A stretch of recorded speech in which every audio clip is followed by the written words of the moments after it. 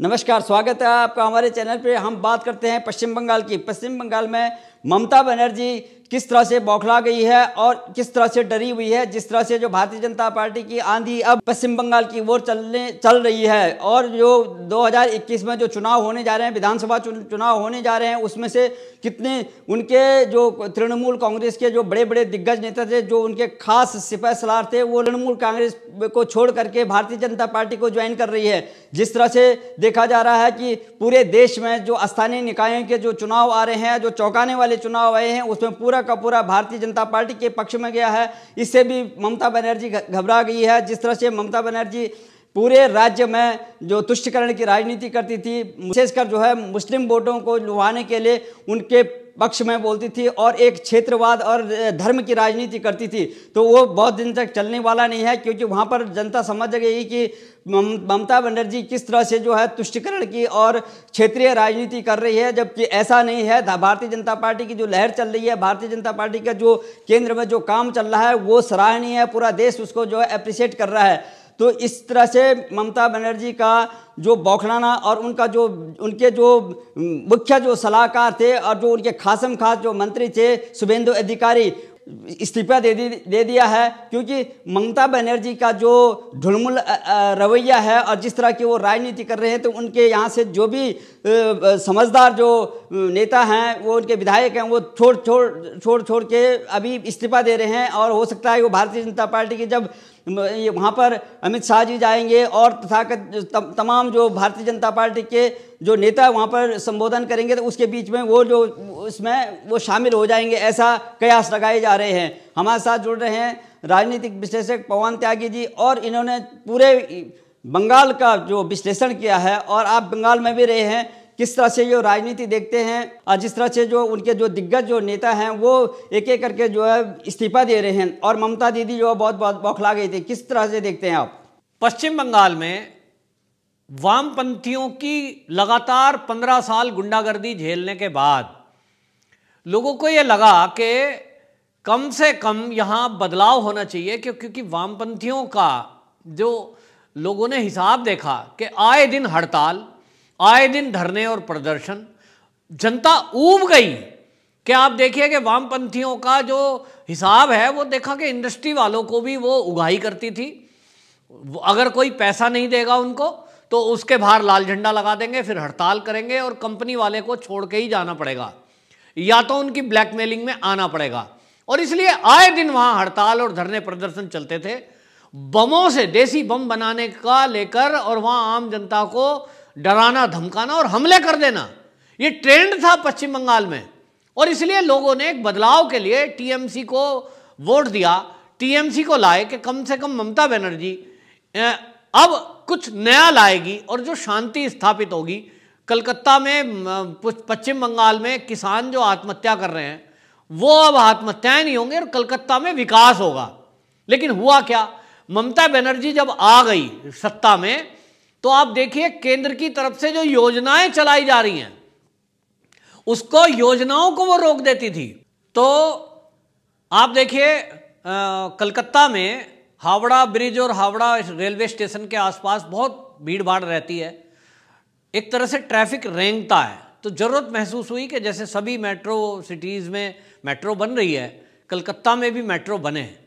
लेकिन ममता बनर्जी ने इसलिए उस योजना को रोक दिया क्योंकि वो केंद्र सरकार में मोदी बैठी है, मोदी सरकार बैठी है केंद्र में, और अगर ये मेट्रो बनती है तो कहीं इसमें मोदी को श्रेय ना चला जाए कि मोदी सरकार आई तो ये मेट्रो बनी। और इसलिए वो योजना ही रोक दी। इस तरह से इसने विकास को रोका और गुंडागर्दी को इस कदर बढ़ावा दिया कि आप देखिए कि वहाँ जो चाहे, जब चाहे, वहाँ किसी की हत्या कर देती है। राजनीतिक हत्याएँ जितनी ज़्यादा पश्चिम बंगाल में हुई है, भाजपा के कार्यकर्ताओं को चुन चुन कर मारा गया, आरएसएस के अधिकारियों को चुन चुन कर मारा गया, ऐसा कहीं हुआ नहीं। और इसीलिए आप देखिए उन्हीं की पार्टी के लोग शुभेंदु अधिकारी जो छोड़कर जाने की जिन्होंने अब घोषणा कर दी, टीएमसी से इस्तीफा भी दे दिया है, वो इतने बड़े लीडर हैं कि उन्होंने टीएमसी के एक तरह से अगर कहें तो शुरुआती दौर के वो नेता हैं और टीएमसी को बनाने में उन्होंने सहयोग किया है। 2009 में नंदीग्राम में वामपंथियों के द्वारा जो भूमि अधिग्रहण की गई थी, उसके विरुद्ध उन्होंने एक आंदोलन चलाया था बहुत बड़ा। और उसमें ममता बनर्जी की मदद की उस आंदोलन में। उसके कारण से 2011 में जब चुनकर इलेक्शन हुआ तो 2011 के इलेक्शन में लगभग 80 से 90 सीटें ऐसी थी जहाँ शुभेंदु अधिकारी के उस आंदोलन के कारण, ग्रामीण अंचल में एक दबदबा बना और जिसके कारण टीएमसी ने क्लियर स्वीप किया। वामपंथियों को हरा दिया और उसमें शुभेंदु अधिकारी का बहुत बड़ा रोल था। लेकिन शुभेंदु अधिकारी को वो सम्मान टीएमसी में नहीं मिला। आज टीएमसी में जो ममता बनर्जी बढ़ावा दे रही है, वो खुद के भतीजे को आगे बढ़ा रही है। सारे फैसले वही करता है। और इसलिए जो बड़े बड़े लीडर हैं, वो देख रहे हैं कि हमारे पार्टी में रहने के बाद भी हमारी तो कुछ चल नहीं रही है। दुर्गा पूजा में मूर्ति विसर्जन की वहाँ परमिशन नहीं मिलती है, लेकिन मोहर्रम का ताजिया निकलेगा। तो ये लोगों ने देखा कि तुष्टिकरण हो रहा है। फिर इसका मतलब अगर दुर्गा पूजा में आप मूर्ति विसर्जन को रोक लगाएँगे, ये कह करके कि कोरोना काल चल रहा है तो मुहर्रम में कैसे होगा भाई? और इसलिए हाई कोर्ट को बीच में दखल देना पड़ा, तब जाके वो मूर्ति विसर्जन हुआ।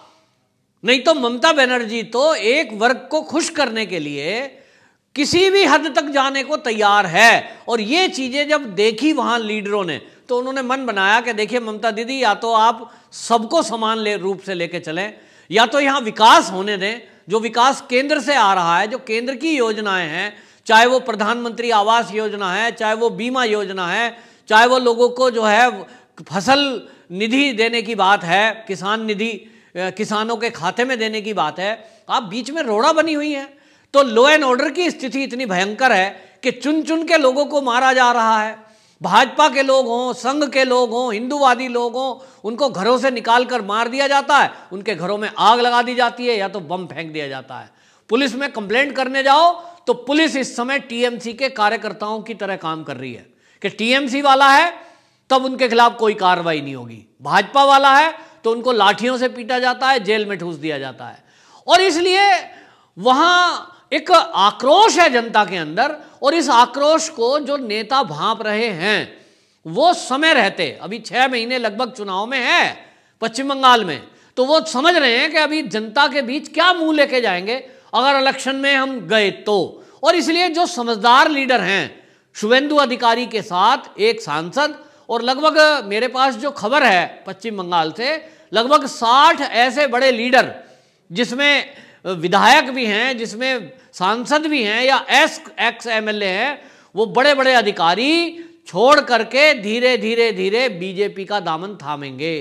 क्योंकि अब उनको सबको लग गया है कि इस देश में अगर आगे आने वाला कोई पार्टी ऐसी है जहाँ राजनीतिक भविष्य है तो वो भाजपा है। और इसलिए भाजपा पहली पसंद लोगों की बनी हुई है।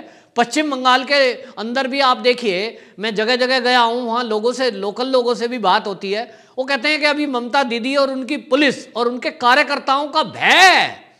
इस भय के कारण अभी बोलते नहीं हैं, मौन हैं, लेकिन इलेक्शन का मौका आएगा तो हम वोट करेंगे और इसको उखाड़ फेंकेंगे। ये तय कर चुकी है जनता।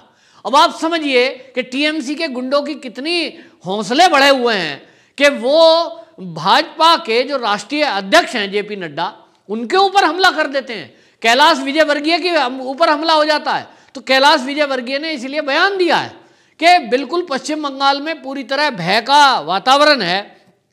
ममता बनर्जी ने भय का माहौल बना दिया है और वो सोचती है कि डरा कर लोगों को वो वोट टीएमसी के पक्ष में ले लेगी।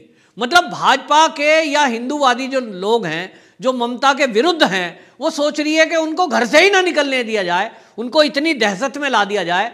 और इसलिए लोग मांग कर रहे हैं कि अगर निष्पक्ष चुनाव पश्चिम बंगाल में कराना है तो पहले राष्ट्रपति शासन लगाइए, ममता बनर्जी को उखाड़ फेंकिए, नहीं तो ये निष्पक्ष चुनाव होने ही नहीं देगी।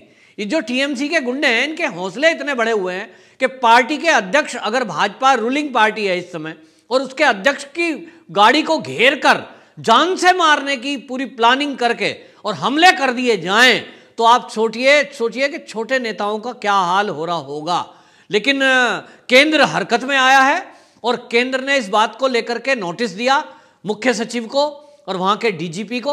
और आपको बताऊँ कि तीन आईपीएस अधिकारी जिनको ये माना जा रहा है कि वो जो है कैलाश विजय वर्गीय और जेपी नड्डा के जो ये वहाँ पर सभा थी और उनका जो रूट था, उसकी ज़िम्मेदारी दी गई थी जिनको सुरक्षा की। ऐसे तीन आईपीएस को केंद्र ने ये धारा छः एक के तहत उनको केंद्र बुला सकता है, ये कानून में लिखा है और इस कानून के तहत उनको दिल्ली वापस बुलाया है। तो ममता बनर्जी की बौखलाट देखिए कि वो केंद्र से ही भिड़ गई और वो कहती है, मैं इन अधिकारियों को नहीं भेजूँगी। तू कोई इस देश के बाबा साहब अंबेडकर के संविधान के ऊपर हो क्या? इस देश के संविधान के सब नीचे हैं, संविधान देश का सबसे ऊपर है और वो संविधान कहता है कि देश में जहाँ भी आईपीएस और आईएएस अधिकारी नौकरी कर रहे हैं, केंद्र अगर उनकी आवश्यकता कहीं और समझता है या उनकी नौकरी में अनियमितता देखता है, दोनों कंडीशन में, केंद्र उनको कहीं भी ट्रांसफ़र कर सकता है या केंद्र अपने पास बुला सकता है। तो ये पावर है। ममता बनर्जी कैसे रोक लेगी? नौकरी से जाएँगे वो अधिकारी भी, अगर वो ममता बनर्जी के खास बनकर कार्यकर्ता बनकर नौकरी करना चाहेंगे तो। जैसा कि कर रहे हैं, जैसा कि सुनने में आ रहा है कि वो आईपीएस अधिकारी ममता बनर्जी के बिल्कुल खास हैं। अब वो खास क्या होता है? राजनीतिक लोगों का कोई खास नहीं होता। आज सत्ता में ममता बनर्जी है, कल को कोई भाजपा आ जाएगी तो उन अधिकारियों का फिर क्या होगा? नौकरी तो करनी है ना। तो नौकरी करनी है तो नौकरी करिए संविधान के दायरे में। और इसलिए ममता बनर्जी की बौखलाट समझ में आती है कभी वो ओवैसी को कहती है कि वो भाजपा का एजेंट हैं, उन्होंने तो पैसा ले लिया है। उनको ये समझ में नहीं आता कि जितने चुनाव आज तक हुए हैं, ओवैसी तो हमेशा वो जहर उगलते हैं, जो जहर का विरोध हमेशा भाजपा करती है। और आज वो कहती है कि नहीं, ये तो भाजपा से पैसे लिए हुए हैं, ये तो भाजपा के लिए काम कर रहे हैं। तो उनको अब लगने लगा है शायद कि अब जिनके तुष्टिकरण में वो लगी हुई थी पिछले दस साल से वो वर्ग भी शायद उससे अब छिटक जाएगा। मतलब आप देखिए कि रोहिंग्याओं को संतुष्ट करने के लिए कितनी लड़ाइयाँ लड़ी उसने और एक तरफा ये घोषणा तक कर दी कि देखती हूँ सीए लागू कैसे होता है, कौन यहाँ से पश्चिम बंगाल से निकालता है इन रोहिंग्याओं को, मैं इनको राशन कार्ड दूँगी, मैं इनको सुविधाएँ दूँगी। अब आज उनको कैसे लग रहा है कि मुस्लिम वर्ग भी आज उनको वोट नहीं देगा, ये तो ओवैसी की पार्टी को दे देंगे, उनको भय लग रहा है। क्योंकि व्यक्ति को दिखाई दे रहा है कि तुष्टिकरण के कारण जो राष्ट्रभक्त मुसलमान हैं, वो भी ये समझ रहे हैं कि ये जो रोहिंग्याओं को बसाने की बात ममता बनर्जी कर रही है, ये भी इस देश के हित में नहीं है। ये विदेशी हैं, ये बाहर के आए हुए हैं, और ये वो लोग हैं जो इस देश के बारे में कभी नहीं सोचेंगे। उनकी वजह से सारा मुस्लिम वर्ग बदनाम हो रहा है, और इसलिए वो खुद चाहते हैं कि ये रोहिंग्या वापस जाएँ। तो ममता बनर्जी का ये जो कार्ड है तुष्टिकरण वाला, ये भी पश्चिम बंगाल में चलेगा नहीं। और बाकी लोग समझ ही चुके हैं कि ममता बनर्जी केवल रोहिंग्याओं का पक्ष ले रही है, बाकी इसीलिए कोई वर्ग जो है उनको समझता है नहीं। और अगले आने वाले चुनाव में ये तो पक्का हो गया कि टीएमसी के पास, मैं कह रहा हूँ, पार्टी खड़ा करने के लिए ना सीटों पर वो व्यक्ति ही नहीं मिलेंगे उन्हें ढंग के। बस अपने भतीजों के दोस्तों को करते रहना वहाँ। और अच्छे अच्छे लोग जो भी राजनीति में हैं, वो सब आप देखना अगले छह महीने नहीं, अगले दो महीने के अंदर अंदर सब भाजपा ज्वाइन करने वाले हैं।